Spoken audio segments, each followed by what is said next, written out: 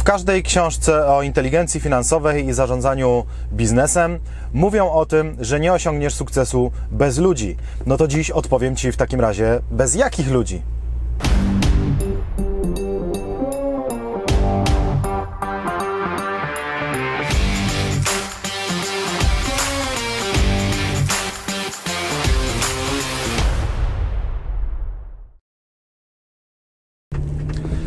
Cześć, tutaj Maciek Wieczorek, a to jest program Biznes 2.0, czyli ten program, w którym dzielę się z Tobą wiedzą, na szczęście nie tylko swoją, ale też wziętą złowieszczo od tysięcy przedsiębiorców, z którymi mam okazję pracować i poznawać i rozmawiać po to, żeby ta wiedza pomogła w Twoim biznesie i żebyś po prostu miał lepsze życie, bo po to się robi biznes, żeby mieć lepsze życie. W zasadzie chyba tylko po to, bo innego celu sensownego nie widzę. Dziś wyjątkowo, bo tak nagrywamy trochę na ostatni moment, więc dziś wyjątkowo będziemy jeździć tak trochę w kółko, bo zazwyczaj jednak nagrywamy jak jedziemy w jakieś konkretne miejsce.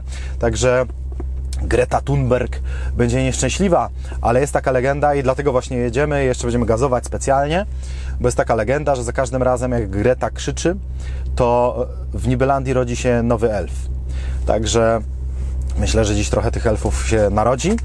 E, w każdym razie, Jedziemy z koksem. Będę dziś chciał Wam wyjaśnić, bo bardzo często jest tak, że w różnych podręcznikach biznesu i tak dalej mówi się i są takie cytaty, że bez ludzi nie osiągniesz sukcesu, ale już rzadko mówi się bez jakich ludzi konkretnie. No co za ludzie? No jest 8 miliardów ludzi na świecie i których ja mam wylosować, czy czy co. I przez to jesteśmy w gąszczu jakby informacji, która, które nie mają znaczenia, bo informacja bez konkretu to nie jest żadne, e, żadne znaczenie. No nie, to jest tak, jak ci, ci, ktoś powie, że palenie szkodzi. No i co z tego, jak ci nie powie, jak rzucić konkretnie, no to taka informacja e, nic nie daje. Więc my potrzebujemy informacji, która coś daje, a zatem potrzebujemy zastanowić się teraz, jakich ludzi ty potrzebujesz w swoim biznesie, bez których to w ogóle nawet nie będzie biznes. Więc e, to jest bardzo ważna rzecz. Poruszę ten temat z kilku zupełnie różnych perspektyw, niby ze sobą niepołączonych, ale chciałbym właśnie wykorzystać tę okazję naszą dzisiejszą, żeby poruszyć pewne różne tematy, bo niektóre tylko pobieżnie gdzieś tam liznąłem, a one są wszystkie bardzo ważne. Zaczynamy zatem. 10 osób, bez których się nie obejdzie w Twojej firmie. Pierwsza rzecz, e, najłatwiejsza i najbardziej oczywista, to jest to, że nie zrobisz biznesu bez księgowej. E, nie chcę nad tym tutaj tracić czasu, bo to jest jakby oczywiste, ale się okazuje, że nie dla wszystkich, ponieważ do dzisiaj jeszcze są osoby, które wymyślają sobie, że one się same będą księgowały. I nawet ostatnio spotkałem się z przypadkiem, że osoba, przedsiębiorca, który prowadzi swoją firmę, że on wymyślił taki pomysł, że on to teraz pojedzie na kurs księgowości, żeby się tak doszkolić, żeby móc się samemu księgować i oszczędzić. No i wiesz co, jest różnica ogólnie nie tylko w biznesie, ale w życiu między oszczędzaniem a dziadowaniem. Oszczędzanie to jest, że stwierdzasz, że po co ci nowy samochód, kupisz sobie używany, nie 50-letni, tylko taki na przykład 5-letni, jeżdżący, sprawdzisz go dobrze, oszczędziłeś kilkadziesiąt tysięcy. To jest oszczędzanie. Albo, że jak przychodzi do ciebie jakaś kwota na konto, no to nie wydajesz tego, tylko zawsze jakąś część zostawiasz. To jest oszczędzanie. Dziadowanie to jest to, że e, nie kupisz sobie kawy w Starbucksie, bo to 10 zł to zmieni moje życie, nie wiadomo co. To jest dziadowanie. Dziadowanie to jest to, że pojedziesz kilometr dalej zaparkować, bo 2 zł za zaoszczędzisz na parkingu. To cię do niczego dobrego nie doprowadzi, na pewno nie do sukcesu finansowego, bo w ten sposób uczysz sam siebie i swój mózg, że jesteś straszny bidok, no bo kto tak robi? Czy ludzie sukcesu, którym chcesz być lub jesteś, a mam nadzieję, że będziesz, czy oni tak robią? że 5 km dalej staną, żeby oszczędzić jakieś złoty piątka, że to się nie trzyma kupy. Więc tylko dla pewności. Nie powinieneś się sam księgować. To jest w ogóle szalony pomysł. Ja tego nigdy w życiu nie zrobiłem, więc nawet e, nie miałem tego w głowie, że tak się da. A się okazuje, że się da. I nawet jak masz proste formy księgowania, jakiś ryczałt i tak dalej, nie liczysz faktur kosztowych, spokojnie, daj 50 zł księgowej za sam fakt, tego, żeby być przedsiębiorcą, czyli żeby zlecać, żeby uczyć się zlecać, bo dziś w zasadzie to mówię o zlecaniu i o sukcesie grupowym. O zlecaniu też dużo mówiłem w tej książce 48-godzinna doba, także jak jeszcze nie masz, to zapraszam, bo nieskromnie powiem, tak jak wiele rzeczy, rzeczy mi w życiu nie wyszło, to ta książka mi wyszła. Dalej, bo ileż można o tej księgowej. Teraz coś mniej oczywistego. Doradca podatkowy. Większość ludzi nie zdaje sobie sprawy z faktu, że księgowy oraz doradca podatkowy to są dwie różne osoby. I ludzie potem mają pretensje. Czemu mi księgowa nie powiedziała, że ja mogłem na przykład nie być watowcem, co by oznaczało, że przez pierwsze 200 tysięcy przychodu zarobiłbym o kilkadziesiąt tysięcy złotych więcej. Czemu księgowa mi nie powiedziała, tylko spytała, czy rejestrujemy do VAT-u, czy nie do VAT-u. Ja wtedy nie wiedziałem o co chodzi. Ona powiedziała, no to zaznaczmy, że do VAT-u. Nie możesz mieć pretensji do to, księgo, do to, o to do księgowej, ponieważ księgowa jest od liczenia. Liczenie, dlatego w innych językach księgowa to jest na przykład countable, czyli licząca osoba. Ona się zajmuje kalkulatorem, dostaje od Ciebie faktury i liczy. Jak czasem na coś wpadnie, brawo, kup jej torcik.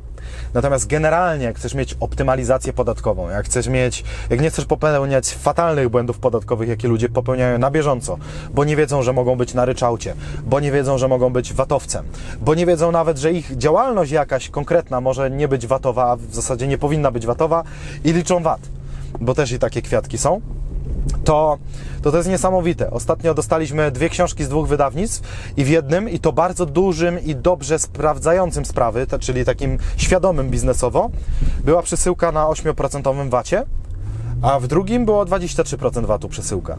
No i widzisz, to jest kilkanaście procent straty dla jednej z tych stron, tylko w oparciu o to, że czegoś albo nie sprawdziła, albo się nie upewniła z doradcą podatkowym. Bo to o to chodzi.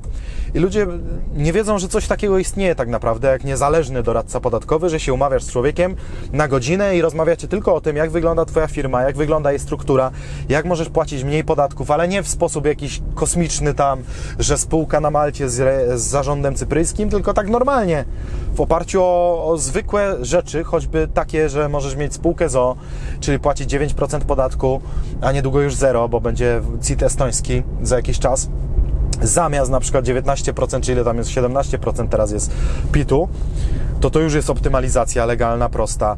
Inna optymalizacja to jest, że do 200 koła przychodu, jak robisz działalność taką wysokomarżową, czyli niekoniecznie musisz mieć przychody jak firma informatyczna albo handlarz stalą, że tam miliony wchodzą, miliony wychodzą, tylko sprzedajesz coś takiego, że jak zarobisz 100 tysięcy, to w zasadzie z tego masz 80 tysięcy dla siebie, to nie wiesz prawdopodobnie, jak nie, ma, nie masz doradcy podatkowego, że mógłbyś to robić bez VAT-u i tym samym e, mieć dużo kasy w kieszeni.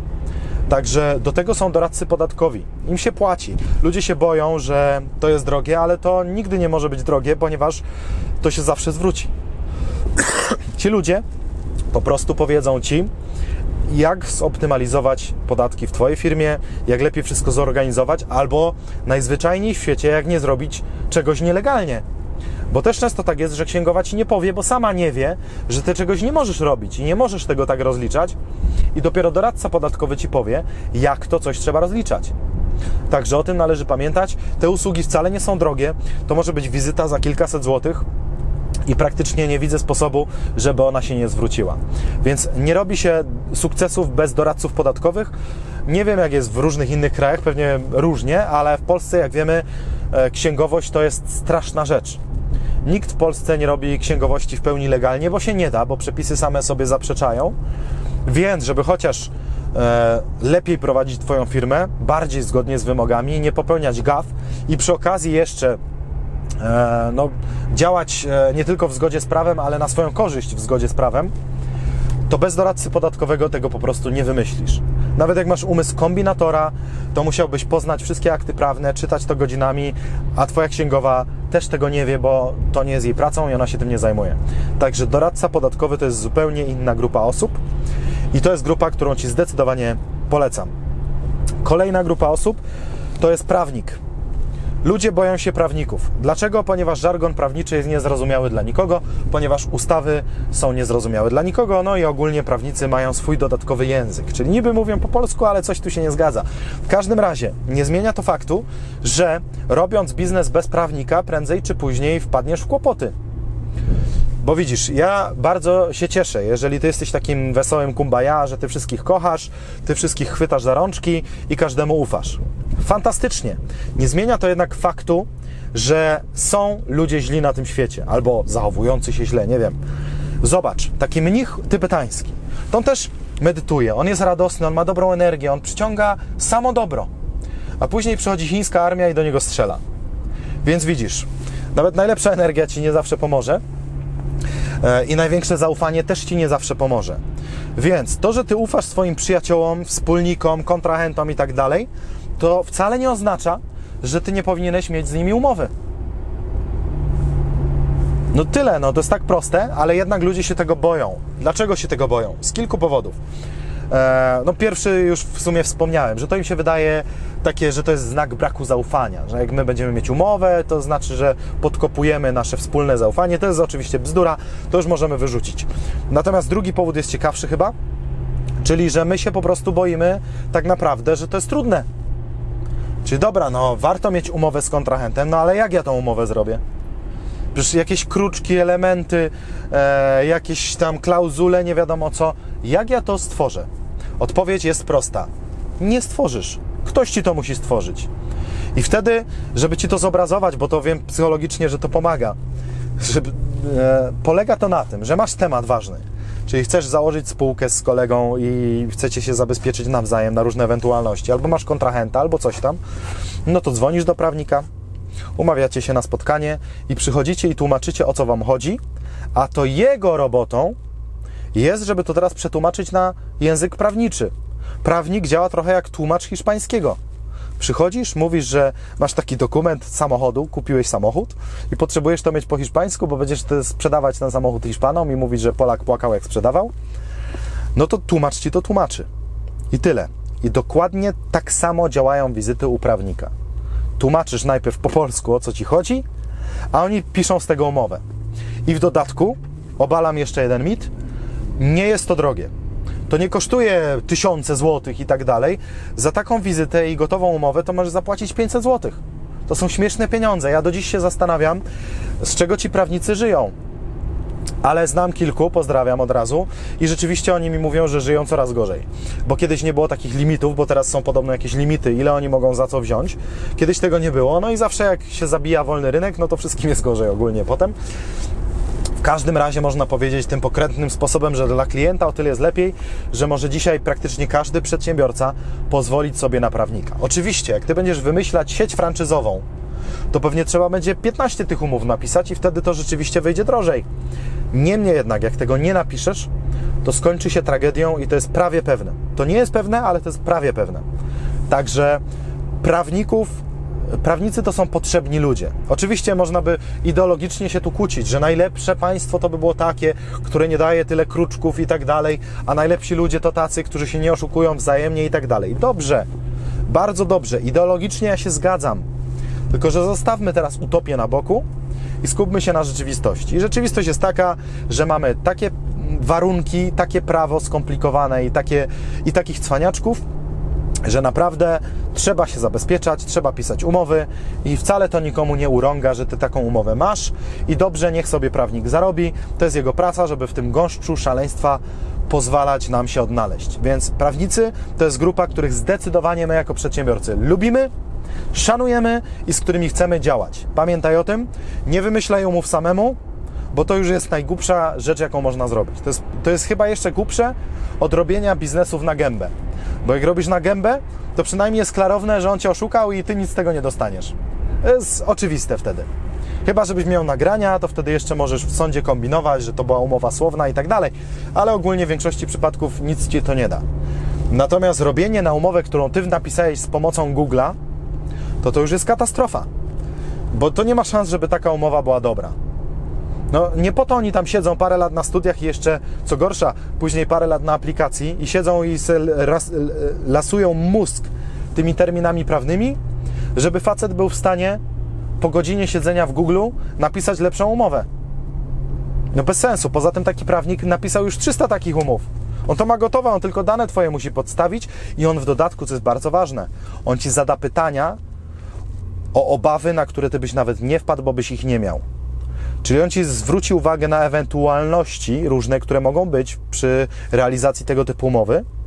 Na przykład większość spółek e, sama sobie nie zadaje pytania, czy wy macie jakiś sposób, e, co się stanie z waszą spółką, jak jedno z was umrze.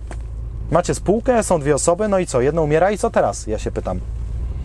Odpowiedź brzmi, że większość spółek nigdy nie była uprawnika w tej sprawie.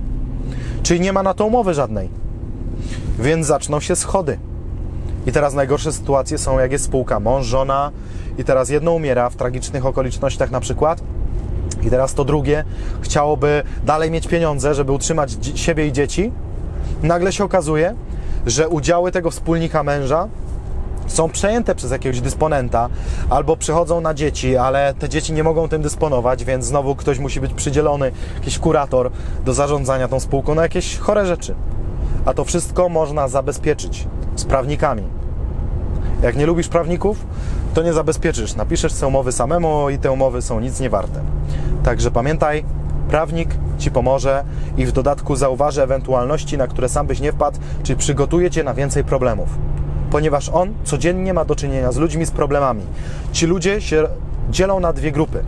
Pierwsza grupa to są ci, którzy mają hipotetyczne problemy. Czyli ja przychodzę, bo chcę zrobić biznes i z prawnikiem piszemy umowę na to, żeby ta druga strona mnie nie oszukała. Czyli to są hipotetyczne problemy, zabezpieczamy się. Jak wiadomo, e, umowa prawna e, buduje dodatkową moralność u ludzi, czyli oni rzadziej wtedy oszukują, jak wiedzą, że spotkałaby ich kara.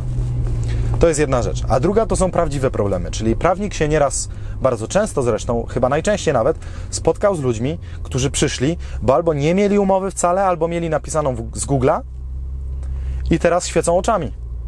Bo teraz się okazało, że jest sytuacja kryzysowa i nie ma jak z niej wyjść bo mają słabą umowę, bo nie, albo wcale nie mają i teraz się zastanawiają, no dobra, ktoś mnie tam oszukał i co ja teraz mam zrobić? A prawnicy szukają Dużo kaszle, ponieważ jestem dopadnięty przez chorobę. Mimo, że nic takiego się nie działo, byłem tylko na wczasach w Wuhan ostatnio, e, więc nie wiem, co to takiego mogłoby być. Nie no, serio, to nie byłem na czasach w Wuhan.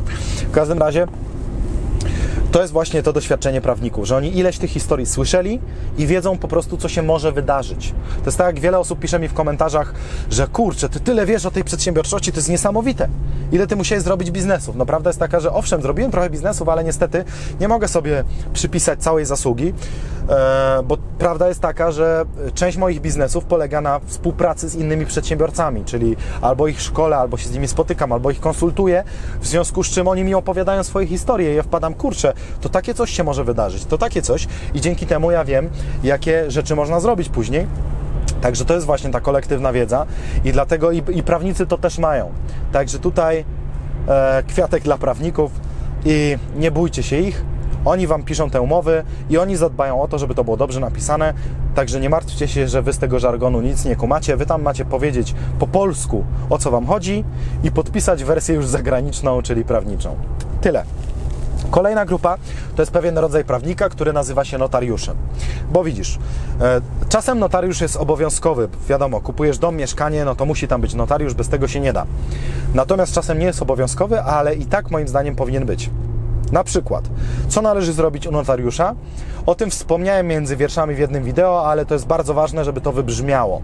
Przedsiębiorcy muszą mieć rozdzielność majątkową a już zwłaszcza jak działają na JDG, jednoosobowej działalności. To już w ogóle robienie JDG to już jest błąd, ale robienie JDG jeszcze bez rozdzielności majątkowej to to już jest szaleństwo.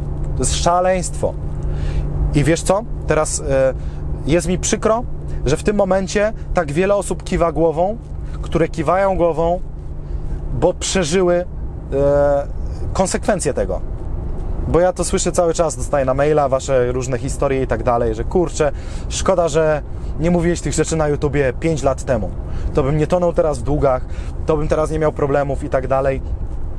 Musisz sobie uświadomić, jak twój biznes nie wyjdzie, a 90% biznesów nie wychodzi, to albo to jest biznes relatywnie bezpieczny, czyli świadczysz usługę, jesteś tłumaczem języka wietnamskiego, to jak nie wyjdzie, to oznacza po prostu, że zamykasz i tyle, masz 2000 długu, jakoś to ogarniesz, pójdziesz na etat. Natomiast większość biznesów to nie jest taki chill out. W większości przypadków nie wyjdzie, oznacza, że toniemy w długach. Więc skoro wiem, że większość biznesów nie wychodzi i że większość niewychodzących biznesów kończy się długiem, to znaczy, że jestem szaleńcem, jeśli się nie zabezpieczam. Jedną z formą zabezpieczenia jest oczywiście spółka ZO, ale o tym nie będę dziś gadać, bo o tym jest cały osobny odcinek. Natomiast drugą formą zabezpieczenia, już typowo zabezpieczenia swojej rodziny, jest właśnie rozdzielność majątkowa. Jeżeli jej nie masz, to wsiądą ci na konto wszystkie konta, a później wsiądą na konta twojej żony. I to już jest podłe z twojej strony, to już jest nieodpowiedzialne. Niektórzy boją się że robienie rozdzielności majątkowej to jest znak, że ty się chcesz kiedyś rozwieść i że ty tak cwaniaczysz już teraz, żeby nie było podziału majątku. Odpowiadam, szansa na rozwód bez rozdzielności majątkowej jest znacznie większa, ponieważ my wiemy, że nic tak nie zwiększa szans rozwodu, poza zdradami oczywiście, jak problemy finansowe. I to jest niestety genetycznie uwarunkowane. Nie możesz winić swojej żony, że jak ty przynosisz do domu za mało pieniędzy, e, to ona jest nerwowa, bo to jest genetyczne. Ona tak ma po prostu. Ona ma poczucie bezpieczeństwa, które się wiąże z zabezpieczeniem finansowym. Tak to po prostu działa, to jest może niefajne, ale, ale tak jest. No, dla nas mężczyzn to niefajne, zwłaszcza tych, którzy nie mają pieniędzy, e, że dodatkowy stres później jest jeszcze w domu. Ale tak jest, było i będzie. No i co Ci mam mówić? Nie będziemy walczyć z genetyką. W każdym razie, to oznacza, że jak nie będziesz mieć rozdzielności, to Twoja wtopa oznacza, że Twoja żona na przykład będzie w problemie. Siądą jej na wypłatę. I widzisz, ty jako przedsiębiorca możesz wtedy zamknąć JDG, otworzyć spółkę i dalej uprawiać radosne kumbaya. I możesz mieć Ferrari i milion długów i dalej jeździć tym Ferrari. Natomiast jeżeli twoja żona nie jest przedsiębiorcą, tylko pracuje na etatach, to ona ma przerąbane. Bo na te etaty jej siądą. Widzisz, jak ty stajesz się zadłużonym wspólnikiem spółki ZO, to pół biedy. Ale etatowca da się dojechać wszędzie. Więc dlaczego niewinna osoba jeszcze Twoja bliska osoba ma płacić za to, że Tobie nie wyszedł jakiś biznes.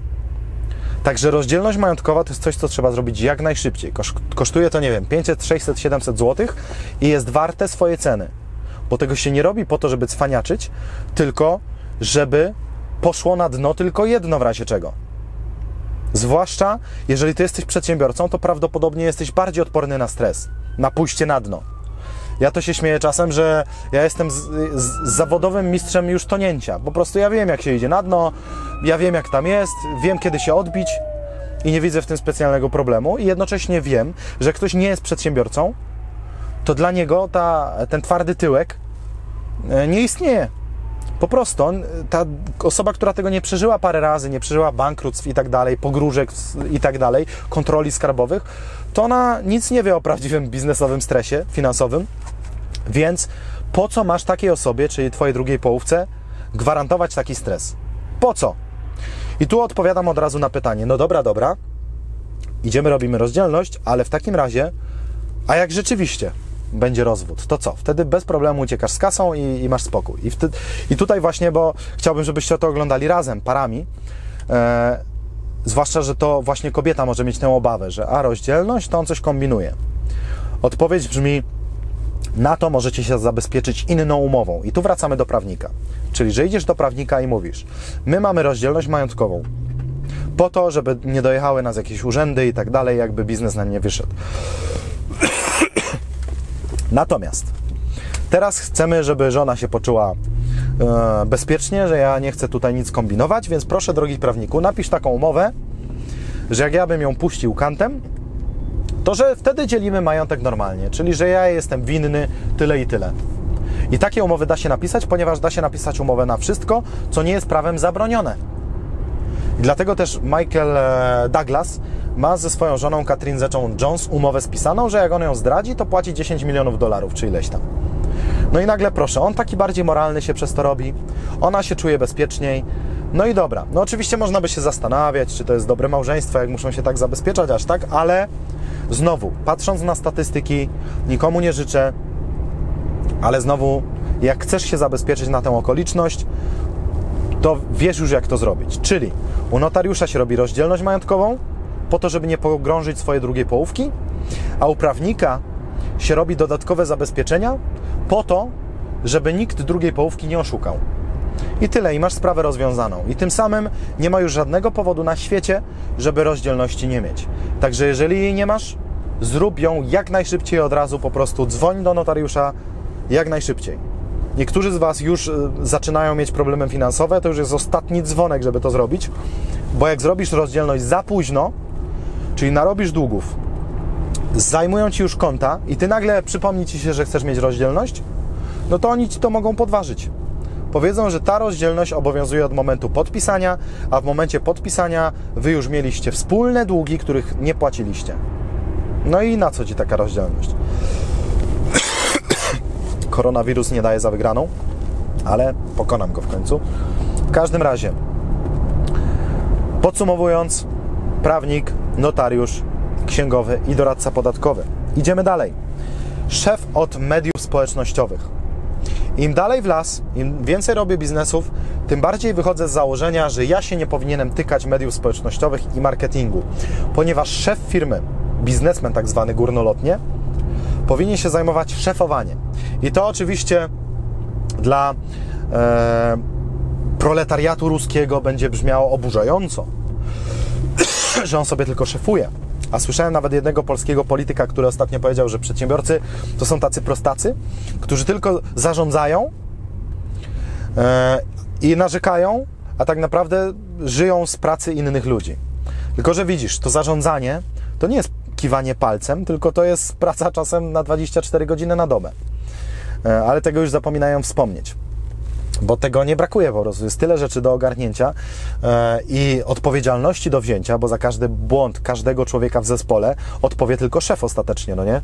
Jak zrobicie błąd w fakturze i się okaże, że popełniliście przestępstwo, w sensie takie przestępstwo, że ktoś musi siedzieć, no to kto idzie siedzieć? No nie ten, kto wystawił fakturę, tylko szefa wsadzą za kratki, więc to trzeba pamiętać o takich rzeczach też. W każdym razie, co to oznacza? Że w którymś momencie zrozumiałem, że ja mediów społecznościowych nie tylko nie jestem w stanie dobrze ogarnąć, tak dobrze jak ktoś, kto w tym siedzi od rana do nocy, to nawet nie powinienem. Bo widzisz, nagle się okazywało, że jak ja robiłem produkt, jeszcze go marketowałem, promowałem, jeszcze do tego w mediach społecznościowych się udzielałem, to każda z tych rzeczy była gorsza. Produkt był gorszy, bo nie miałem tyle energii, żeby go tworzyć, bo musiałem też siedzieć w mediach społecznościowych, Facebooki ustawiać reklamy. Bez sensu, wszystko było gorsze i firma nie działała tak, jak powinna. Natomiast gdybym już wtedy się odważył i stwierdził, że właściwy moment na marketera w firmie jest wczoraj, to szybko zyskałbym skalę, bo są ludzie, którzy są w tym genialni. Jak ja wchodziłem na reklamy Facebooka i klikałem te badziewie i te grupy docelowe i to i tamto, naprawdę za przeproszeniem żygać mi się tym chciało. Nie rozumiem fenomenu Facebooka, nienawidzę szczerze tego portalu. On moim zdaniem w ogóle to jest. Geniusz tego polega tylko na tym, że to jest pierwszy na świecie produkt, który jest popularny wszędzie, mimo że nie działa. Zauważyłeś, że Facebook nie działa? Wyobrażasz to sobie, jakby Coca-Cola działała jak Facebook, czyli że bierzesz puszkę Coca-Coli i przez 15 minut próbujesz otworzyć, bo źle zamontowali. I nie idzie otworzyć, i nożem kombinujesz, i wbijasz otwieracz jakiś bierzesz, i dopiero po 15 minutach możesz pić. A tak działa Facebook. Ciągle coś się ładuje, ciągle coś się nie może wgrać, ciągle czegoś brakuje. No nie, nie jest tak? To nie jest u mnie tylko na komputerze, wszyscy tak mamy. U każdego Facebook się zawiesza, działa powoli i tak dalej. Czekasz na wiadomości, aż ci się Messenger włączy w końcu 3 lata i tak dalej. Ponieważ oni sami nie przewidzieli swojej skali, więc nienawidzę tego portalu. I w końcu stwierdziłem, to co ja mam być wszystkim? Jak ja mam?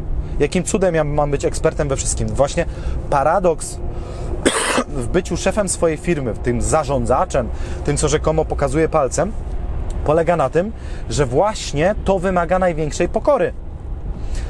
Bo ja co rusz byłem zmuszany sam przez siebie do przyjęcia na klatę, że kurczę, ja tego nigdy nie zrobię dobrze. Po prostu, obojętnie ile się będę uczyć tego Facebooka, tych reklam, tych innych rzeczy, Instagramów, ja nigdy tego nie zrozumiem tak, jak ktoś, kto w tym siedzi od lat codziennie. Po prostu, bo ja mam w tym czasie inne rzeczy do zrobienia. Ja mam też i pasję, i uczę się języków. I mam też rodzinę i dzieci, z którymi spędzam czas. I w firmie mam tyle różnych obowiązków, żeby to wszystko się nie rozpadło, że ja nie jestem w stanie edukować się w ustawianiu reklam na Facebooku, żeby one w końcu zaczęły działać. Dlatego też jak robiłem to sam, to przepaliłem cały budżet zawsze. W sensie ja na Facebooka prywatnie zmarnowałem kilkadziesiąt tysięcy złotych bez praktycznie żadnego efektu. W sensie nie zarobiłem na tym nic. Straciłem kasę i tyle z tego było. A później się okazało, że teraz na przykład w zespole mamy Karola, który mówi: Wydałem dziś 13 zł, pozyskałem klienta na 1200. Dlaczego? Jak to jest możliwe w ogóle? No tak to jest możliwe, że on w tym siedzi od lat i on to rozumie. A jestem starym, zgniłym dziadem, który wchodzi na te media społecznościowe, patrzy i mówi, co tu się w ogóle dzieje, co tu się wyrabia. Bez sensu. Społeczność to przecież jest umówić się z kolegą na piwo. Ale widzisz, są ludzie, dla których media społecznościowe to jest ich świat. Oni to rozumieją, oni to kumają, są w tym biegli, szybciej to załapią. I to jest to. Tak samo jak ktoś szybciej załapie koszykówkę i jak będzie próbować robić inne rzeczy, to będzie wiecznie nieszczęśliwy. Tak to po prostu działa. Więc jak masz duszę zarządzacza, duszę przedsiębiorcy, to musisz się zajmować byciem przedsiębiorcą, czyli przed się braniem różnych rzeczy przed siebie, organizowaniem, tworzeniem projektów, zarządzaniem tymi projektami, tworzeniem zespołów do tych projektów i ro robieniem tak, żeby te zespoły się nawzajem nie pozabijały i żeby to wszystko działało. I wymyślaniem w ogóle strategicznie, co, co w tym zespole jest potrzebne i kto. Także człowiek od social mediów jest Ci na pewno potrzebny, ponieważ w dzisiejszych czasach prywatnie uważam, że istnienie na Facebooku nie ma żadnego sensu. Im dalej w las to analizuję, tym bardziej nie widzę żadnej korzyści z bycia na Facebooku czy na Instagramie i tak dalej. Natomiast biznesowo, czyli tworzenie grup, fanpage i tak dalej, reklama oczywiście płatna, to to jest całkiem inna para kaloszy i to wręcz trzeba robić. A już na pewno warto. Tylko znowu, tego nie możesz ty robić, bo ja już widziałem i znam takie przypadki dzisiaj, pozdrawiam przy okazji serdecznie, natomiast znam takie przypadki, że facet, który jest budowlańcem, czyli normalnie w ciągu dnia, on ma swoją firmę, jadą tam, budują, szpachlują normalnie, cegły stawiają, to on wieczorem siada i ustawia kampanię na Facebooku swojej firmy. To jest chore i to trzeba Ci powiedzieć wprost. To jest chore. Przedsiębiorcy tak nie robią. Przedsiębiorca nie dość, że na budowie to jak już się pojawia, to tylko po to, żeby zarządzić, żeby przypilnować, żeby zwrócić uwagę, że to robimy za wolno, to za szybko, to robimy nie tak i tak dalej, żeby zatrudnić dobrych ludzi, żeby zwalniać tych ludzi, którzy nie są dobrzy i tak dalej. To tak samo on potrzebuje mieć zespół marketingowy. Ten zespół to, może, to jest górnolotne, to może być freelancer jeden, który na ćwierć etatu robi Facebooka. Ale przedsiębiorca ma tym zarządzać, a nie to robić samemu. Prawnicy chodzą na kursy teraz e, Facebooka i lekarze. To jest absurd. Powinni to zlecić. Niech to ktoś robi za nich. Oczywiście jeszcze jeden problem jest, że to są trudne rzeczy. W sensie ja osobiście znam tylko kilka osób, które potrafią robić takie rezultaty, że z kilkunastu złotych zrobią tysiąc na Facebooku. Więc to nie jest łatwa rzecz i większość na przykład agencji marketingowych, z którymi miałem do czynienia, no to było więcej gadania niż efektów. Czyli jak oni ci nie chcą się zgodzić na efekt, to już z nimi nie gadaj nawet. Czy jak oni ci mówią, że my chcemy od ciebie tyle i tyle miesięcznie za prowadzenie fanpage'a. Ty, no ale prowadzenie, czyli wrzucanie w posta dziennie raz albo raz na trzy dni, to jest tak prosta rzecz, że to sobie każdy głupek może zrobić. Więc zaprowadzenie? Nie. Dajcie mi gwarancję, że do tego fanpage'a będzie przybywało tyle i tyle ludzi, albo że jak będę mieć grupę na temat taki i taki, to znajdziemy tyle i tyle ludzi nowych, którzy chcą w tej grupie być i się udzielać i to nie będą tureckie konta, tylko prawdziwi ludzie. Albo, że ja Wam daję nieograniczony budżet marketingowy tak długo, jak jesteście w stanie zmienić jedną złotówkę w dwie. To z, tej, z tych dwóch złotych, które nam zostaje, znaczy zostaje nam jedna złotówka, no nie, jak wydaliśmy jeden, zarobiliśmy dwa, to 50 groszy jest dla Was. Czyli ja Wam daję pół zysków. I róbcie do oporu. Jeżeli nie chcą się na to zgodzić, to widocznie wiedzą, wiedzą, że nie zrobią tych efektów. Po prostu. Więc marketing w mediach społecznościowych to nie jest to samo, co prowadzenie mediów społecznościowych. Rozumiesz to? Czyli to, że ty sobie tam masz fanpage'a i sobie to sobie wrzucasz, to to nie jest żaden marketing. Marketing to jest, że ten fanpage żyje, czyli że ktoś go promuje albo płatnie, albo bezpłatnie na różne, na różne kreatywne sposoby. Natomiast on się sam nie wypromuje, więc prowadzenie to nic nie znaczy. Także o tym też pamiętaj. Czyli speców od marketingu społecznościowego musisz mieć. Sam nie jeździ na żadne tam szkolenia z Facebooka, chyba że sam chcesz mieć firmę, która jest agencją marketingową, wtedy tak. Natomiast jak ty jesteś przedsiębiorcą takim innego rodzaju, masz swój biznes, e, robicie coś innego, niepowiązanego z Facebookiem i Facebook ma tylko ci przynieść klientów, to ty nie możesz się tego tykać. Tylko możesz to nadzorować, czyli patrzeć, jak twój albo freelancer, albo pracownik etatowy, w zależności od skali twojej firmy, to robi. I już. Pamiętaj, to jest bardzo, bardzo ważne, bo każda Twoja minuta stracona, poświęcona na uczenie się Facebooków i tak dalej, to jest minuta stracona. Na to, żeby się odsuwać od bycia prawdziwym biznesmenem, a pielęgnować tę e, fatalną wizję samozatrudnionego, który sam robi wszystko i nigdy nie ma ani życia, ani pieniędzy. Kolejna rzecz to jest obsługa klienta.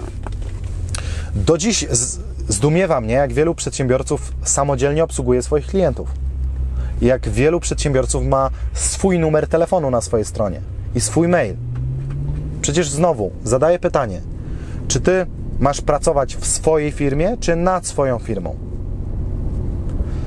Być może jesteś kozakiem maślakiem i uważasz, że ty jesteś w stanie ogarnąć wszystko. Ty odbierasz telefony od klientów, ty piszesz maile, ty też robisz produkty, ty też je reklamujesz i w dodatku to wszystko jest zrobione lepiej niż u konkurencji. Jak tak, to ci gratuluję szaleństwa albo geniuszu, bo może jesteś genialny, jeżeli to faktycznie działa. Natomiast jeżeli nie, jeżeli te wszystkie miliony przedsiębiorców, którzy ciągle w kółko opowiadają tę samą jedną historię, że dopóki nie nauczyłem się zlecać, to było przerąbane i ciągle pracowałem. W końcu odpuściłem trochę i nie robię wszystkiego sam i teraz jest lepiej. Miliony ludzi ci to powiedzą na świecie. Może oni wszyscy kłamią, może to jest spisek, żeby cię zmanipulować do tego, żebyś wydawał i nie, da, nie daj Boże, żebyś dzielił się swoimi pieniędzmi z innymi ludźmi. Ha! To by było. Nagle byś się podzielił z prawnikiem, z księgową, z obsługą klienta, z marketerami. To by było straszne, co? Albo wręcz fantastyczne. Bo widzisz, nie wiem jak to działa z pieniędzmi, ale tak jest, że im bardziej się nimi dzielisz, tym bardziej one się mnożą. W przedsiębiorczości do tego jest prosta reguła na to. Po prostu tak to działa, że im więcej rzeczy zlecasz, czyli płacisz za zrobienie, tym więcej możesz zarobić, bo tym więcej jest zrobione po prostu, no.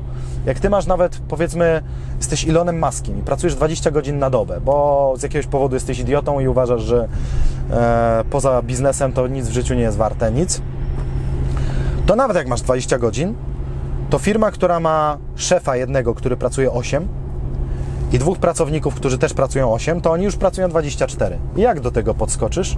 Oni pracują 24, ty 20. A jak z firmą, która ma 5 ludzi, jak do tego podskoczysz? To jest niemożliwe. Nawet jeśli ci ludzie nie będą tak efektywni jak ty, nie będą robić rzeczy tak szybko jak ty i tak dalej, spoko, spoko, ale przyjdzie co do czego, to się okaże, że jak porównasz, to niektóre rzeczy i tak twoi ludzie robią znacznie lepiej niż ty byś kiedykolwiek był w stanie zrobić. Takie są fakty. Więc ty nie możesz obsługiwać klientów w swojej firmie. Tak naprawdę to ty nie powinieneś z nimi mieć do czynienia nawet. No czasem oczywiście, ja wiem, w niektórych branżach to jest nierealne, no nie? Jak remontujesz Lidla, no to wiadomo, że siłą rzeczy, e, jak masz klienta, który ci daje 3 miliony, no to pewnie jesteś przy negocjacjach. To jakby rozumiem. E, I czasem się spotkasz w tym Lidlu z kimś i będziesz mieć do czynienia ze swoim klientem. Natomiast jak masz firmę, która ma dużo klientów, małych i tak dalej, to to nie ma w ogóle sensu. Ktoś powie, no dobra, jak jestem zegarmistrzem i tak dalej, no to odpowiem, no to to nie jest biznes w ogóle. Co tym? Zegarmistrz to nie jest biznes, to jest samo zatrudnienie, czyli zbudowanie dla siebie etatu. Ale zauważ, że dentyści już rozkminili to lepiej.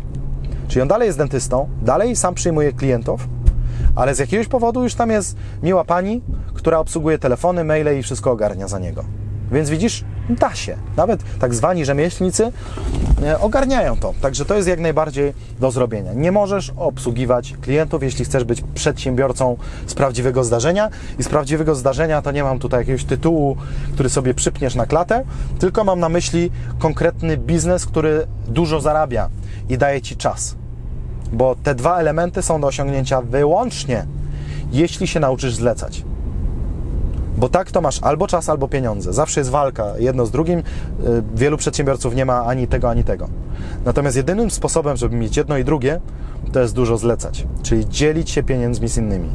I tyle. Wtedy i tak dużo dla Ciebie zostanie, a dużo też czasu dla Ciebie zostanie, co też jest kluczem.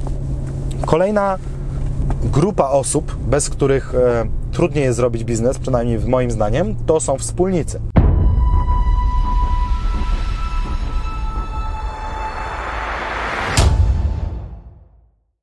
Na to podejścia można mieć różne. Teraz nie mówię o wspólniku, że ty masz spółkę z żoną na przykład, żona tam nic nie robi, ale jest wspólnikiem, żeby była spółka ZO. Nie. Teraz mówię o wspólniku takim, że razem robicie biznes. I to z perspektywy lat uznaję, Może jednak koronawirus mnie dojedzie ostatecznie. To z perspektywy lat uważam, e, w zasadzie nie uważam, tylko patrzę na liczby. Wszystkie biznesy, które robiłem ze wspólnikami, przynosiły zawsze znacznie większe zyski niż te, które robiłem samemu. Dlaczego? No pewnie z wielu powodów, ale ogólnie dlatego, że wspólnicy muszą ze sobą niejako e, walczyć o ideę. Ja celowo używam słowa walczyć, żeby od razu Ci powiedzieć uczciwie, że prowadzenie spółki, zwłaszcza spółka, że tak powiem, mail to mail, czyli jak są faceci, i to zwłaszcza alfy tak zwane, czyli każdy ma swoją rację, każdy ma jaja duże i każdy, żaden się nie broni walczyć o swoje idee. To się w Niemczech i we Francji już nie zdarza, ale u nas w Polsce cały czas często. Taki przekąs tutaj był. To wiesz, co to oznacza? Że taka spółka to jest jedna wielka strefa wojny. Jak ty byś posłuchał moje rozmowy ze wspólnikami, bo mam kilku, na WhatsAppie, w zasadzie tylko na WhatsAppie, czy czasem na żywo, to są straszne rzeczy. Nikt by tego nie chciał słuchać, na pewno to by się nie, nie nadawało do puszczenia dzieciom. Raz to puściłem mojej żonie, bo ona mówi, że ja nie wierzę, że wy to tak rozmawiacie, jak ty to opowiadasz, e, bo to wy, wy byście się już pozabijali. To ja mówię, tu masz mojego Whatsappa, kliknij losową wiadomość. Puściła i to, co tam usłyszała, to było szokujące dla niej. E, że jak tak w ogóle można rozmawiać z drugim człowiekiem, który nie jest Twoim ostatecznym wrogiem, komu byś życzył wszystkiego najgorszego. No ale no niestety, jak są faceci w teamie, to tak jest. I teraz tak, dlaczego ja o tym mówię? Dlatego, że uważam, że to nie jest powód, żeby nie robić spółek. Bo widzisz, są korzyści, są koszty, tak jest w każdej dziedzinie życia. Tak samo małżeństwo ma koszty i ma zyski. I uważam, że nasza kultura niestety coraz mniej to rozumie, aczkolwiek Polska tutaj jeszcze jest na straży, e, że to jest bardzo duża wartość, która wychodzi znacznie na plus. Że te koszty są znacznie mniejsze niż zyski. I tak to działa. I to samo jest e, w spółce. Kosztem jest w sumie to samo, co w małżeństwie, czyli że się będziecie żreć. No i już, bo będziecie mieć różne idee, różne pomysły, różne światopoglądy, i ja nawet nie widzę sposobu, żeby tego uniknąć. No nie wiem, no chyba, że założycie spółkę w dwóch Tybetańczyków i będziecie razem medytować i będziecie razem tak pokojowo zawsze nastawieni. Natomiast w każdym innym wypadku to będzie strefa wojny, czyli czasem się dogadacie, czasem będziecie musieli walczyć o swoje idee intensywnie, czasem Twoja idea przegra, czasem druga idea przegra i tak dalej, i tak dalej. Ale i tak warto. Po prostu. Ja Ci powiem szczerze, że E, czasem są takie dni, że cieszę się, że, wspól, że ze wspólnikami gadam na Whatsappie, bo jakby byli w pobliżu, to po prostu bym ich odstrzelił od razu. Jakbym jeszcze miał pistolet, to by nie było nadziei. To po prostu strzelałbym w łeb, jeszcze już by się przestali ruszać, to ja bym dla pewności jeszcze 100 razy strzelił. Takie dni są. Ale wiesz co? Mimo to już skumałem, bo na tym chyba polega dorosłość i dojrzałość, że rozumiesz pewne zależności, no nie, że dobra, to jest, czasem jest taki koszt, że to kosztuje mnie trochę stresu, ale zysk jest niepomiernie większy, bo tworzymy super team, który wymyśla takie pomysły, których żaden z nas nie wymyśliłby w pojedynkę. Czyli jesteśmy super szybcy, super kreatywni i przy okazji super fajni, bo trzeba pamiętać o tych wszystkich dniach, bo wiadomo, te dni kłótni to się najbardziej rzucają w oczy. Ale prawda jest taka, że zawsze więcej jest tych dobrych. I w te dobre dni to my jesteśmy po prostu jak Avengersi. Po prostu my cały świat jesteśmy w stanie uratować, bo każdy ma inną supermoc. I to jest niesamowite. Więc dlatego też uważam, że mimo, że niektórzy mają e, różne doświadczenia, kogoś wspólnik oszukał i tak dalej, no też jest zasadą, że spółki co do zasady nie robi się z obcymi takimi, wiesz, no, że znalazłem na spotkaniu startupów wspólnika. To powiedziałbym jest mega odważne. Ja bym się nie odważył. Ja robię tylko spółki z ludźmi, z którymi wcześniej już robiłem dużo innych projektów, biznesów, którzy byli kontrahentami i tak dalej. No i po prostu ileś razy widziałem, że mogli, a nie oszukali. Czyli sprawdzeni, sprawdzeni ludzie tak naprawdę. Oczywiście to dalej nie daje 100% pewności, że ktoś komuś noża nie wbije, ale wiesz co? Nawet jeżeli czasem ktoś wbije, to dalej uważam to za słaby koszt, mały koszt w porównaniu do zysku, który z tego wszystkiego jest, również w związku z tym zyskiem dosłownym, czyli finansowym. Bo tak jak mówię, w spółce zarabia się po prostu szybciej. I tyle. Także, tak jak mówię, jest to niełatwe, zwłaszcza dla alf, e, którzy lubią samemu i po swojemu, ale z drugiej strony e, skoro warto, to czemu by nie? To może i, to może i warto. No. Kolejna grupa ludzi, których warto mieć wokół siebie, choć to nie są ludzie do zatrudnienia. To są przyjaciele, którzy są inteligentni finansowo. Bo teraz tak, prowadzisz biznes, on zaczyna iść, w ogóle ci ludzie powinni mieć też, powinieneś mieć dużo przedsiębiorców, ale takich działających przedsiębiorców, skutecznych, wiesz, że oni też zlecają Facebooka, że oni też mają księgową, że oni też korzystają z optymalizacji podatkowej i tak dalej. Bo jak ty będziesz taki super do przodu, że sobie obejrzałem YouTube'a i teraz sprawdzę, ale wszyscy twoi znajomi przedsiębiorcy to są tacy, takie boroki można powiedzieć, czyli wszystko samemu, bo ja to jakoś dam radę, ja to ogarnę, nie, ja tu Facebooka, ja to tam, to to ciężko ci będzie to kontynuować. Bo jak spotykasz się z nimi później przy piwku i zaczynacie opowiadać, to oni ci sprzedają te swoje wizje i dla ciebie to się staje normalne, że to ta, tak się robi. Ale to tak się nie robi. Wyobraź to sobie, że prezes Apple siedzi i robi marketing na Facebooku? Ktoś powie, a bo to jest duża firma. Nie, nie, nie, w drugą stronę. To dlatego jest duża firma, że się już w początkowej fazie dzielili obowiązkami. Steve Woźniak był od programowania, Steve Jobs był od sprzedaży i bajerowania i pozyskiwania tym samym inwestorów, czyli też bajerowania. No trzeci wspólnik i tak się wykruszył, więc potem było od niczego. No i trzymali się konkretnego podziału zadań i dlatego to zadziałało.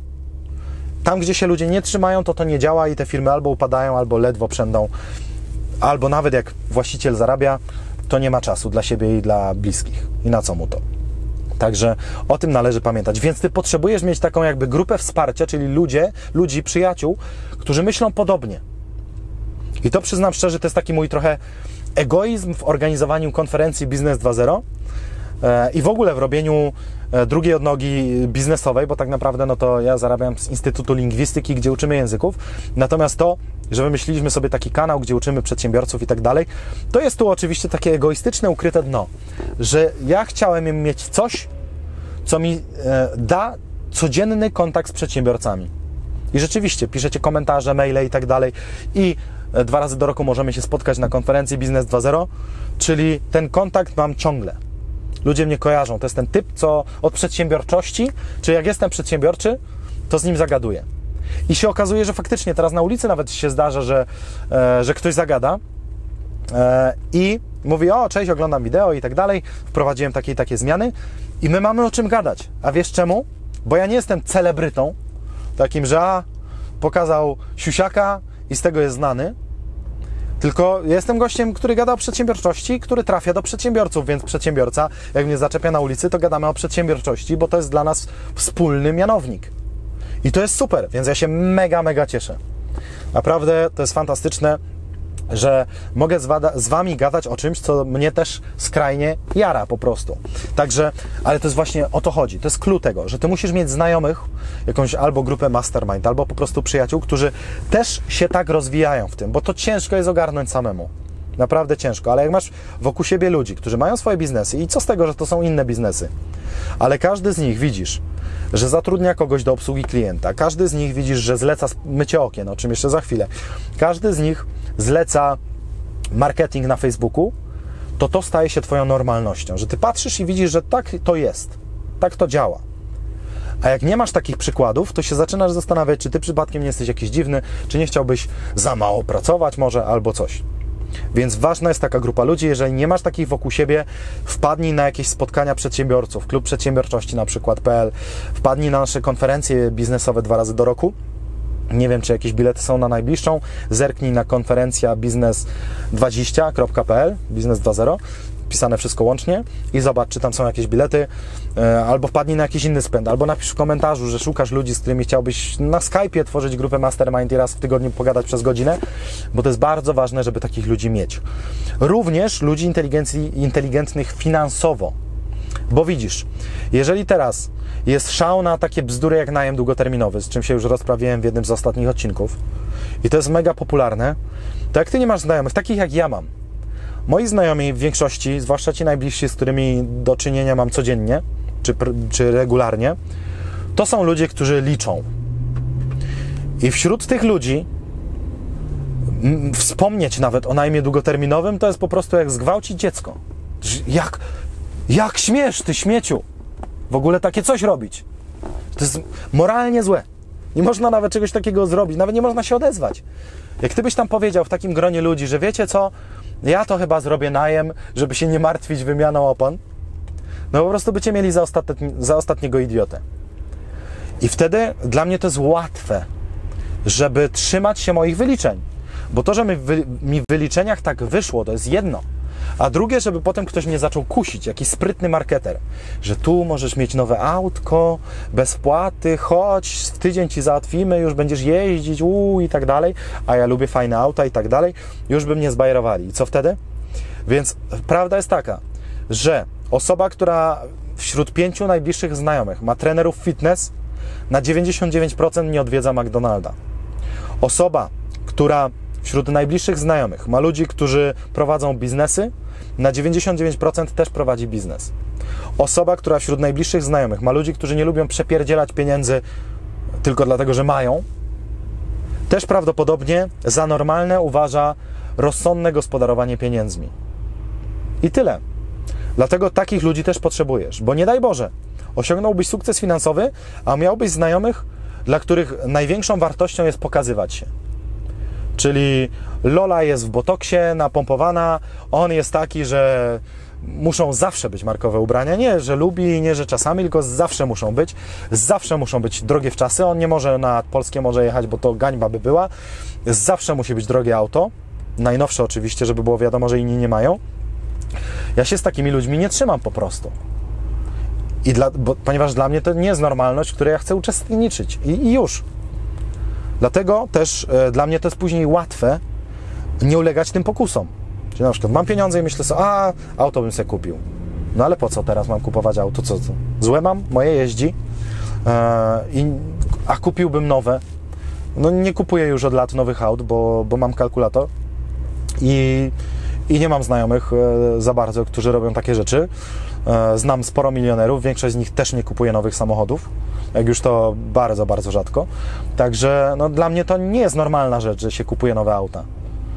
Bo jeżeli coś kupuję, co traci tyle na wartości w ciągu dwóch lat, to znaczy, że powinienem kupić dwuletnie, żeby ktoś zapłacił tę utratę wartości, no nie?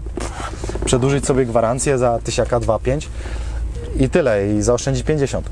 No ale to jest temat na inny odcinek. W każdym razie chodzi o to, że jak ty nie będziesz mieć znajomych, przyjaciół, którzy są przedsiębiorczy, jednocześnie są inteligentni finansowo, czyli nie robią tak, że oni muszą zawsze wyzerować swoje konto, bo inaczej to się czują zestresowani, to jak nie będziesz mieć takich ludzi wokół siebie, e, którzy dobrze zarządzają, to jest mniejsza szansa, że ty kimś takim będziesz. Dlatego ty też po prostu potrzebujesz właściwych ludzi. Poszukaj ich, bo wtedy po prostu jest łatwiej. Oczywiście można kozaczyć, że my sami to e, kreujemy swoją rzeczywistość i po prostu bądź sobą i takie tam bzdety, ale prawda jest taka, że społeczeństwo zawsze na nas ma potężny wpływ.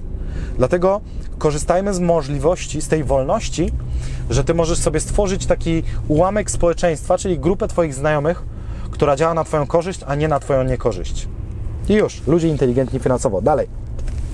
Ale y, jeszcze tylko jeden disclaimer, nie doradcy finansowi. Uważam, że z kolei tak doradcy podatkowi, tak prawnicy, tak notariusze, to są grupy ludzi, których my potrzebujemy jako przedsiębiorcy i oni są dla nas komplementarni. Tak doradcy finansowi to jest grupa ludzi, z którymi my nie powinniśmy mieć nic wspólnego. Ponieważ doradca finansowy to jest w ogóle jakiś absurdalny zawód. To ten zawód nie powinien istnieć. Co to jest doradca finansowy? To jest ktoś, kto ci mówi, co ty masz robić z twoimi pieniędzmi. To jest już jakiś absurd co do zasady.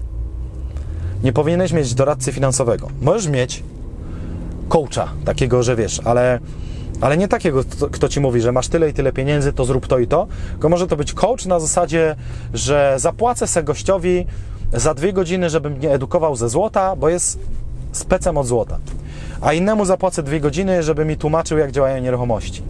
A później sam stwierdzę, co mnie bardziej kręci. Ale nie doradca finansowy, że panie, tu wrzucimy 15% w takie aktywa, tu w jakiś fundusz i tak dalej. W 99% przypadków to jest jeden wielki wał, który ma na celu pomniejszanie Twojego kapitału, ale za to powiększenie kapitału doradcy finansowego. Także tyle. Taki przy okazji disclaimer. Kolejna dziwna grupa ludzi, z którymi jednak jest nam trochę po drodze, to jest KAS, czyli Krajowa Administracja Skarbowa. Mimo, że my jako przedsiębiorcy, no to wiadomo, że przez skarbówkę jesteśmy ciemiężeni, także nie przepadamy za tym, tymi instytucjami. Natomiast trzeba pamiętać o jednej rzeczy, Tam są ludzie, których funkcją jest odpisywanie na Twoje maile. Co oznacza, i wielu przedsiębiorców o tym nie wie, mimo że to powinno być oczywiste, że jak nie wiesz, to możesz napisać na przykład do skarbówki albo do Krajowej Administracji Skarbowej i oni ci powiedzą.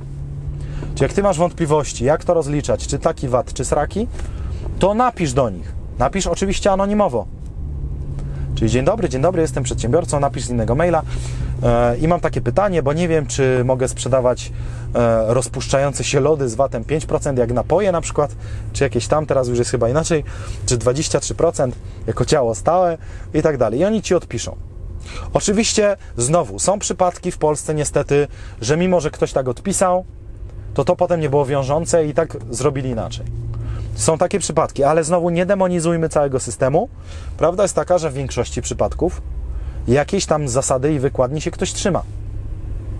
Dlatego też o tyle mówię o tych ludziach, że z nimi warto być w dialogu, ponieważ jak ty się będziesz obrażać od razu, że to, aha, to jest system opresji, to z nimi nie gadam, no to sobie chyba nie pomożesz. No czy tak się rozwiązuje konflikty, że a ja go nie lubię, to niech się pałuje śmieć pieprzony. I się pytam, czy w takim razie to wy się. Do... Jaka jest szansa, że wy się dogadacie z takim podejściem? Więc chyba nikła. A jak nie chcesz mieć problemów, no to właśnie możesz napisać maila, zapytać, czy do właśnie do jakiejś, nie wiem, izby lekarskiej, jak jesteś lekarzem, żeby ci powiedzieli, jak zrobić to albo tamto, czy co wolno, czego nie wolno i tak dalej. To jest po prostu taka, taka oczywista rzecz, że aż dziwne, że o tym mówię, ale większość ludzi nie wie, że wszystkie te molochy, te wielkie instytucje mają maila kontaktowego i można zapytać, yy, napisać i się zapytać o coś. I znowu, tak jak mówię, no można dyskutować, czy te odpowiedzi są wiążące i tak dalej, ale faktem jest, że zapytać można. I tyle. I wszystkie te KNF i różne inne instytucje zawsze mają na siebie namiary i uważam, że czasem warto pytać. Na przykład, kiedyś chciałem, miałem taki pomysł z moim wspólnikiem, żeby zrobić sieć hoteli, które sfinansujemy z kryptowalut. I mieliśmy taką ideę, że będziemy mieć e, wielu inwestorów kryptowalutowych, zbudujemy sieć hoteli i tak dalej. Był to pierwszy tego typu pomysł na świecie. Dopiero później pojawiały się konkurencyjne i stwierdziliśmy, dobra, po co sobie logikować? Napiszmy do KNF-u w tej sprawie. I tyle. Niech to nie będzie, że oni są naszym wrogiem, bo, bo to, bo tamto, tylko nie, napiszmy, spytajmy, co oni na to. I oni nam odpisali, że zgodnie z wytycznymi naszego pomysłu, ogólnie wszystko się zgadza. Natomiast prawo kryptowalutowe w Polsce jest tak niejasne, że oni nie mogą, czy oni sami uczciwie napisali, że ich odpowiedź jest niewiążąca, ponieważ nie może być wiążąca, bo prawo może się jutro zmienić. Czyli w praktyce to oznacza, że ten projekt jest po prostu niebezpieczny, bo prawo jest tak zwane labilne, czyli niestabilne w tym temacie, brakuje regulacji. I dla mnie ten mail był wystarczający, żeby w ogóle wyrzucić do kosza cały ten projekt. Gdybym nie napisał tego maila i nie daj Boże zrealizował ten projekt, to może bym siedział już w więzieniu dziś. To jest możliwe. Więc cieszę się, że napisałem maila do KNF-u, że oni mnie odpisali w taki sposób, bo dzięki temu wiedziałem, że po co się pchać. Przecież przedsiębiorcą jestem od tego, żeby pomysłów mi nie, nie brakowało. Przedsiębiorca ma milion pomysłów na godzinę, no to ja nie muszę się na siłę trzymać jakiegoś jednego. Ja zarobię dużo pieniędzy tak albo siak, albo nawet srak. Więc okazji to mi nie braknie. Okazje są jak autobusy, jak tylko jedna podjeżdża, zaraz przyjeżdża kolejna. Więc molochy e, są molochami, to prawda, i mają liczne wady, ale czasem warto się z nimi kontaktować. I ostatnia grupa ludzi to jest prywatna pomoc. Czyli to, że ktoś ci umyje okna w domu, to, że ktoś ci podleje kwiatki, to, że ktoś ci umyje naczynia, to, że ktoś ci umyje podłogę.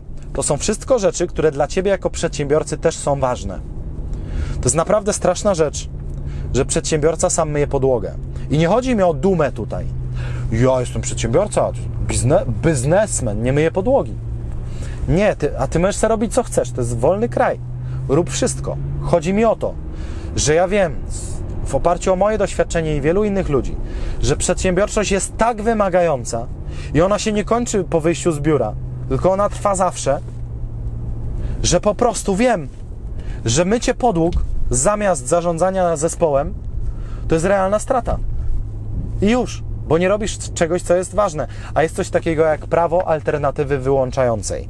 Czyli to prawo alternatywy wyłączającej mówi, że za każdym razem, jak robisz coś nieważnego, to nie robisz czegoś ważnego.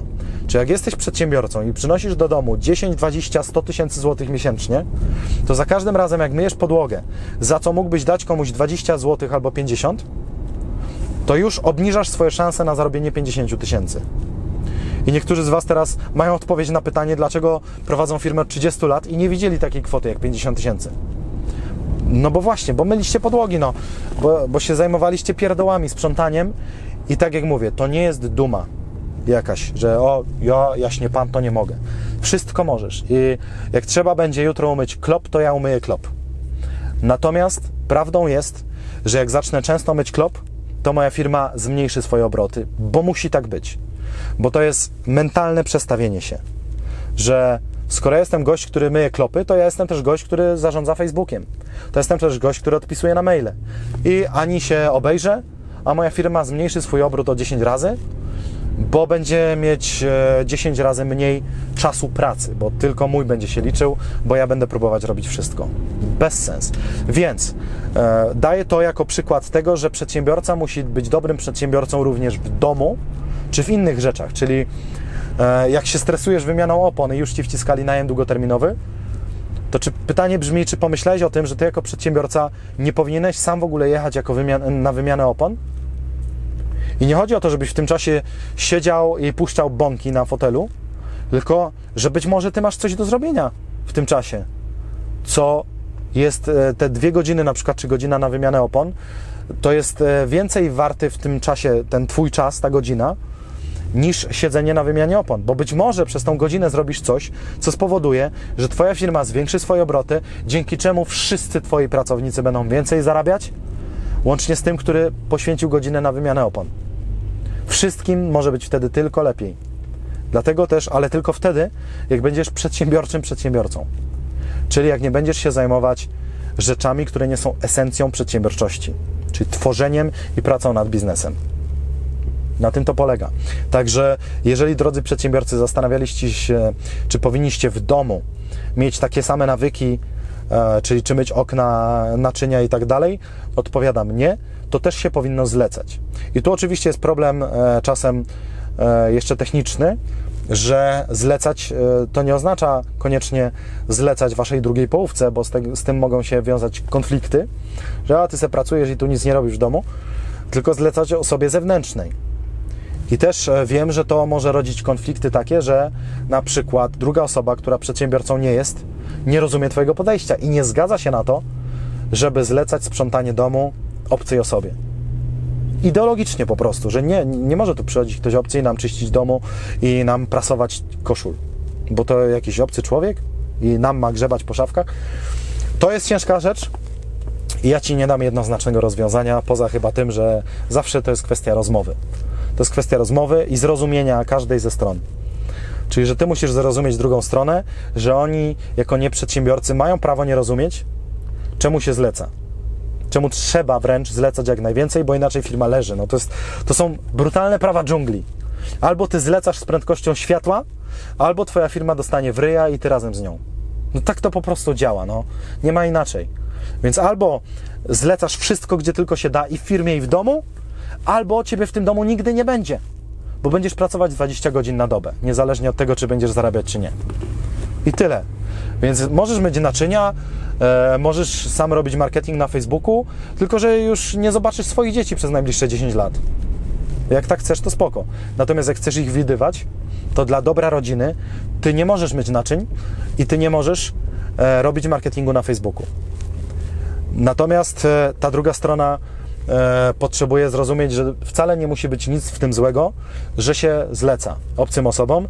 Rynkowo to jest dobre, bo obce osoby sobie zarobią, więc budujemy rynek, dzielimy się pieniędzmi, to jest po prostu dobre. No, to jest gospodarka, to jest napędzanie gospodarki, więc wszystkim jest po prostu lepiej. Te osoby się bogacą, my się bogacimy, bo mamy więcej czasu. Także to jest niełatwy orzech do zgryzienia, ale zostawiam Ci to pod rozwagę. No i oczywiście pod dyskusję rodzinną. Niemniej jednak fakt jest taki, że niebiznesowe rzeczy też trzeba zlecać. Czyli naprawa samochodu to nie jest może część Twojej firmy, jak to jest Twój prywatny samochód, ale to też trzeba zlecić. Czy warto? No, nic nie trzeba, ale moim zdaniem warto. E, sprzątanie podłogi tak samo i wiele, wiele innych niebiznesowych rzeczy jak najbardziej warto zlecić, jeżeli nie są to rzeczy, które są esencją Twojego życia. No bo można powiedzieć, o, to jak spędzasz czas z dziećmi, to też nie zarabiasz, nie zarządzasz firmą. Tak, oczywiście, że tak. No i dobrze. I tak ma być. Właśnie o to chodzi. Wiem, który czas jest na zarabianie, a który nie jest na zarabianie. Ale nie może być tak, że czas e, sprzątania, który jest czasem, który ani mi nie daje przyjemności, ani pieniędzy. No to, to po co w ogóle mieć taki czas w życiu?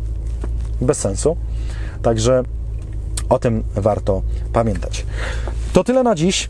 Mam nadzieję, że merytorycznie, mimo że mam chyba ze 38,5 stopnia i naprawdę ciężko mi się gadało, głos chyba też wydaje mi się, że mam inny, e, także e, koronawirus mnie tutaj wyniszcza, ale ale chyba się udało tyle wiedzy przekazać, ile byłem w stanie. Także trzymam teraz kciuki za jej wykorzystanie i przypominam, że widzimy się na konferencji Biznes 2.0. Zobacz, czy są bilety na stronie konferencja biznes20.pl, czyli 20, konferencja biznes20.pl.